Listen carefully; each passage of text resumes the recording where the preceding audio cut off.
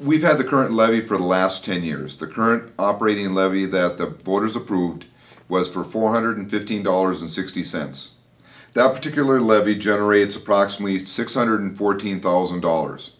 Of that six hundred and fourteen thousand dollars, it comes from two, two sides. It comes from the state aid, which Minnesota provides, and that's about hundred and thirty-eight thousand dollars.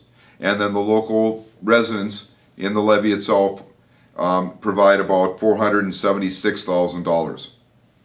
The reason we're asking for a new referendum that will go to the voters in November is because the current operating levy that we have expires at the end of the school year.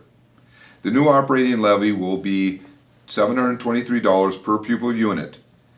This referendum, if approved by the voters, will generate approximately $943,000.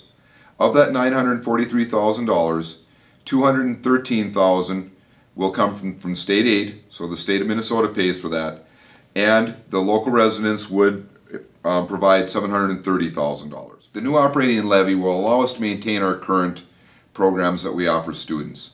There really won't be a whole lot of money left over after we, we do that. Right now, the new operating levy would uh, give us approximately 329,000 in additional funds.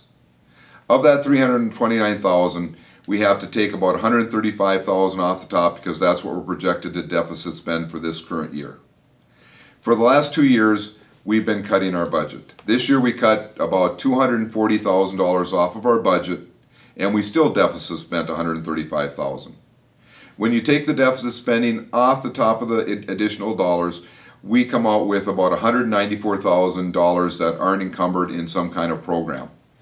Even our reserve fund is not at the 5 to 8% that the state really recommends that every district has for um, anything from, from an emergency type of situation where you need additional dollars or the state changes some of their funding and you get less dollars, it allows us to have a reserve that we can use those dollars for in the case of an emergency. This is truly an investment in our students' future and in our community's future. If the new referendum were not to pass, if the public were not to approve this referendum, the district would end up cutting about $600,000.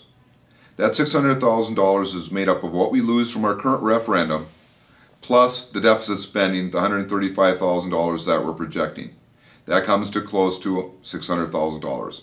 Because we're a people business, 80% of our current budget is really in wages and in benefits, which means that it would be very difficult, if not impossible, to make these cuts without going into personnel. When you go into personnel, you lose either programming, class sizes go up, or you lose electives, none of which are good for our students. If we lose more than 2.5% of our current budget, that means if we go into debt more than 2.5% of our current budget, we go into what's called statutory operating debt. This district was in statutory operating debt in 2001. At that time, the state forces you to make a plan where you very much, in very great detail, explain to the state how you're going to get out of statutory operating debt, which very much includes cutting personnel. For a person that owns a $150,000 house, they would pay approximately $97 a year in additional taxes. This would be $1.87 a week or 27 cents per day.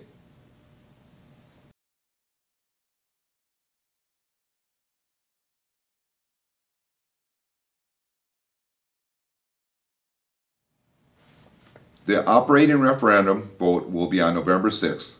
You'll be voting in your regular polling place, and you can call the district office if you have any questions regarding where that where you would be voting.